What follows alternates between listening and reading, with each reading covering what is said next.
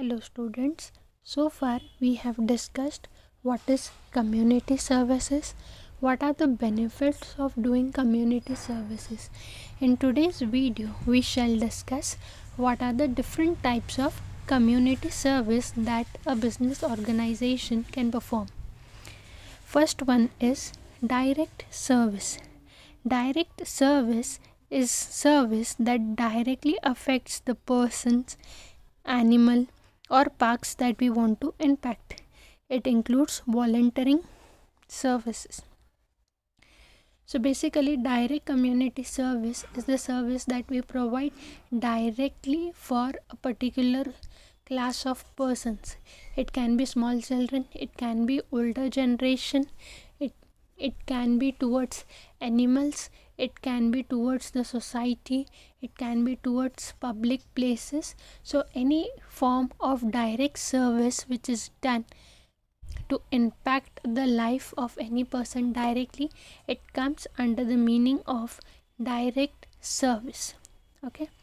Next one is indirect service. Indirect service might take the form of fundraising or collection it is the type of service in which you are not in the presence of the person or thing that you are impacting. So indirect as the name itself suggests this type of service is indirectly provided. That is directly you are not helping a particular class of people you are indirectly helping them. Now what do you mean by indirectly helping them? It means that you are conducting certain events or you are going from door to door to raise funds for a social cause. Now you you might have certain competitions. Okay you can arrange a cricket tournament or you can arrange a match. Okay wherein whatever funds are collected from such a match it will be utilized for charity for older people or it might be used for children who stay in orphanage. So like this funds can be collected. Or you might collect funds from uh, visiting various schools and colleges from the children to help other uh, underprivileged children. Okay? So like this indirectly you are collecting funds or raising funds and giving for help to a particular community. So that that is indirect form of community service. Next is advocacy. Now advocacy is when you speak up for or against an issue or solution. When we use our voice we are being advocates okay? So advocacy uh, basically means you are raising voice against the issues that are happening in society. Now we see that there are many issues which are there in the society. That is there might be certain business organizations which might be exploiting natural resources to a larger extent and they might be harming the environment. Or apart from that there are issues such as uh, pollution water pollution it can be air pollution it can be safety of women in an organization or in society okay? So when you are bringing a bringing up such issues and voicing such issues. You are making people aware of such issues. For this purpose you can organize seminars workshop self defense training can be given. So here you are raising the issues and creating an awareness in the society about the issues that are existing. So that is called as advocacy when you are voicing up for the issues that are there in the society that is called as advocacy. Next is research. Now research involves finding out new information that informs or demands action.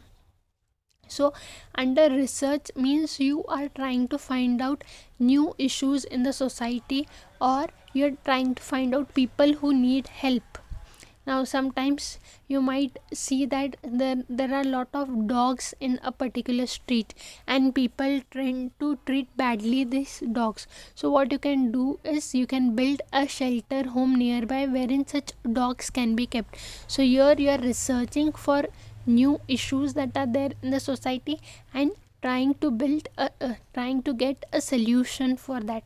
So that is research type of community service wherein you are trying to research the new issues in the society and when you know the issues you try to bring a solution for those issues. So that is research.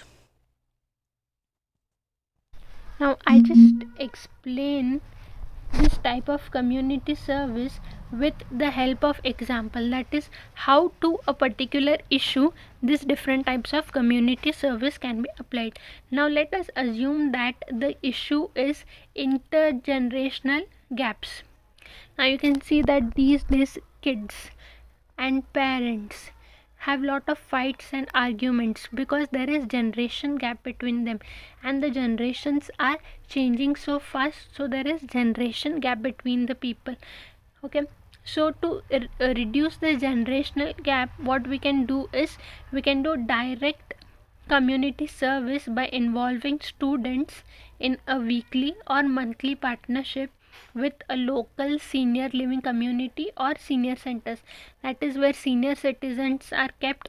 Students can visit those those centers and they can play games or participate in conversations with them. So by this they will understand how to interact with the older generation what problems they are facing and they can have good bonding with each other. So this is direct community service wherein we are trying to reduce the generational gap.